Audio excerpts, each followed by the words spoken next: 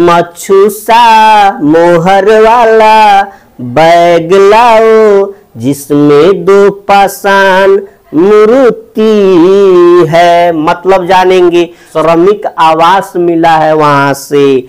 अब मच्छू यानी मछुआरा, एक बर्तन पर मछुआरे का चित्र मिला है वहाँ से। समझे, एगो बर्तन था, उस पर का था?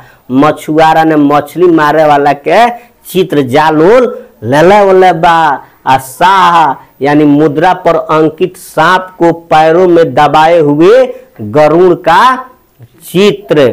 ठीक है गरुड़ जो है अपने पैरों में किसको दबाया हुआ है? सांप को ये चीज़ मिला है हड़प्पा से अब मोहर, सर्वाधिक अभिलेख अभिलेख युक्त मोहरे आठ सौ इक्यानवे गो मोहर मिलल बा वही जान। बैल मिलल बा, शंख का बना हुआ बैल मिला है, बकरे का अस्थि पंजर वहाँ से मिल गया है। तो ब से ये वाला दोनों ब ब से टकरा जा रहा है।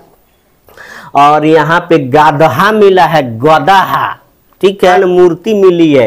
एक जो है लाल पत, लाल पत्थर की मूर्ति मिली है और एक काले पत्थर की नर्तकी वाली मूर्ति मिली हुई है।